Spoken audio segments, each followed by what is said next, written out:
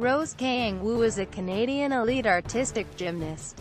She was the 2014 junior national champion in the all-around, uneven bars, and floor exercise. At the 2015 Elite Canada competition, she competed in the senior division and won gold in the all-around. Woo will become a senior gymnast in 2016, and she will be eligible for the 2016 Summer Olympics.